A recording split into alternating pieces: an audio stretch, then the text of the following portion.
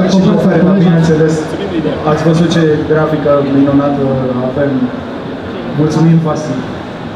Vasi Alboiu, colegul nostru, ne-a ajutat și a ieșit cu această copertă minunată. Și să nu uităm un moment că e o carte.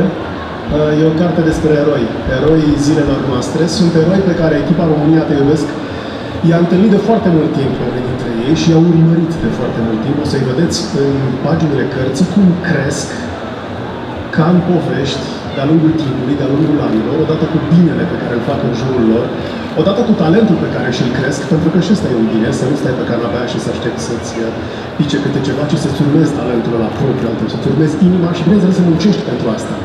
O să vedeți cum cresc toate aceste povești și chiar unele dintre ele au un ritm aparte.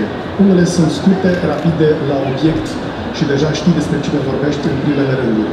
Altele îți ia mult timp și poate că și câteva lacrimi ca să afli ce s-a întâmplat până la urmă cu proiectul, cu personajul. Uh, E o carte scrisă împreună cu cei dinăuntru și ei sunt eroii până azi nescriși, de azi înainte scriși și lor le mulțumim că fac ceea ce fac în felul în care fac și ne inspiră, pentru că dacă cineva undeva are nevoie să facă bine și nu știe de unde să înceapă, noi am recomandat această carte să vadă cum au început alții, poate să înceapă alături de ei să facă bine și să răspândească creșterea comunității în jurul lor și de acolo să-și decoleze, să decoleze cu propriile proiecte mai departe.